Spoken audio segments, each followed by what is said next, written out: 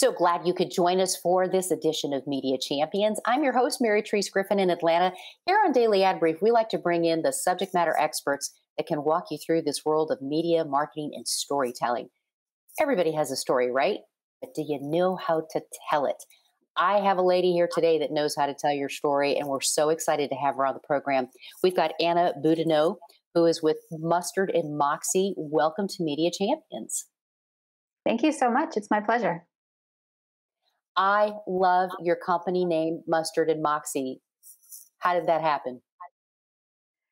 It is a story about taking the long way around and winding up in the correct destination despite the uh, d- despite the the path that isn't straight. Um, I gave a lot of thought into what I wanted my agency to be called. I wanted us to uh, show our clients and potential clients that we were scrappy, that we had gumption, that we were filled with a team of very creative people.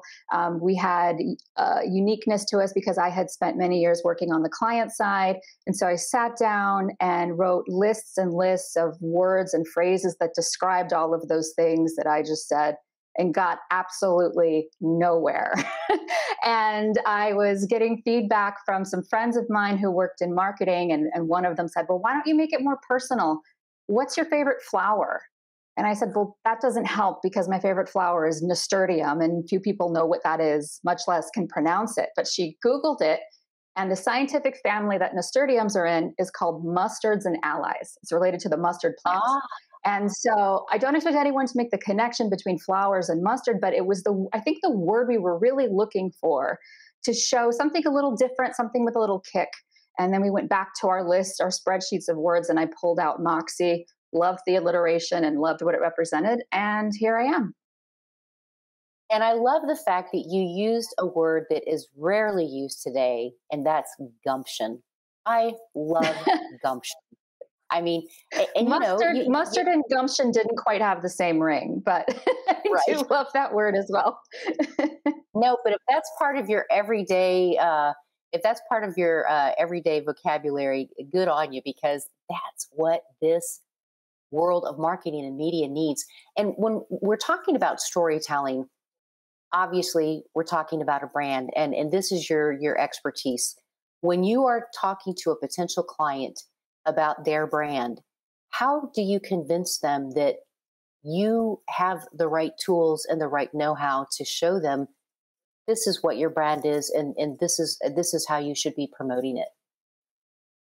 I see myself as not a person who is going to tell a brand how to tell their story.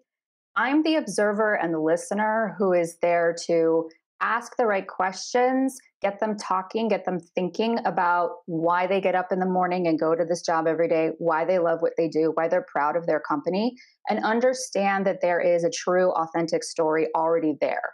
And then it's my job as their storyteller and as their guide to pull that story out, examine the emotions behind it that where there may be potential for uh, connection with their target segments and then help them understand um, and and get more input from them to understand who are the people in their target segment, who are their audiences. How can we use their story to create emotional connection between the two and use marketing content to build that bridge? So for me, it's not so much of I'm the right gal for the job because I know how to do this, this, and this. For me, it's a matter of showing I am here to guide you. You have all the answers. Um, I am here to show you the potential um, and the power that lies within the story and the authenticity that already exists.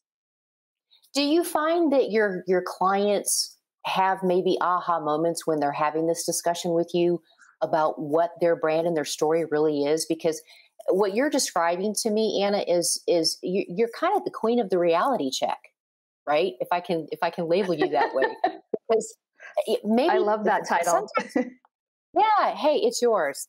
My gift to you. I, I just I feel like that's that's what you're doing because it people they they maybe have the knowledge but they don't know what they don't know and you're helping them put the puzzle pieces together am i right Absolutely. And there are a lot of aha moments, a lot of like light bulb going off over the head. And I, I, live for that. That's when I feel very excited to be and very lucky to be doing the job that I do.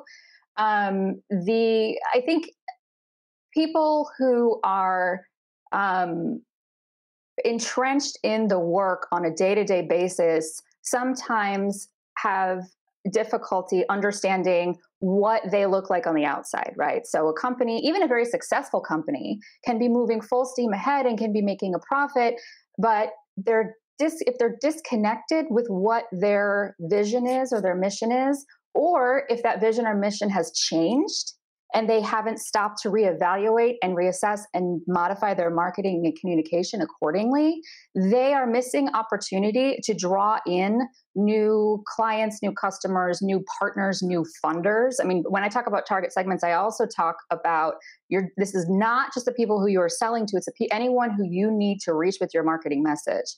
And I love being, yes, the, the, the queen of reality checks because I'm not afraid to sit there and say, well, this is what I'm hearing you say, but I'm not seeing this reflected in your marketing or vice versa. Brilliant, brilliant, brilliant. Opportunity awaits folks that are out there watching this. Anna, thank you so much for taking time to be with us on Media Champions. And I, I hope that you will come You're back so and chat some more because you, you are, uh, you, you're brilliant and I love your website, by the way, Thank folks. You. You're going to want to check out our website because it's absolutely brilliant, easy to navigate. And I know that there's so much more that you and I can chat about. So come back and chat with us again on Media Champions. I would love that. Thank you very much for the invitation. You bet. Mustard and Moxie. I just love saying that. If you want to make the connect to Mustard and Moxie, we can do that for you. You can find us at dailyadbrief.com. We'll see you back for more Media Champions. I'm Mary Therese in Atlanta. Make it a great day.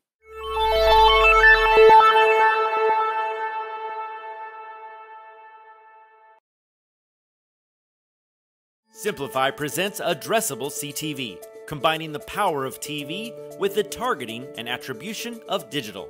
Simplify's addressable CTV delivers massive reach with the ability to scale without sacrificing precision.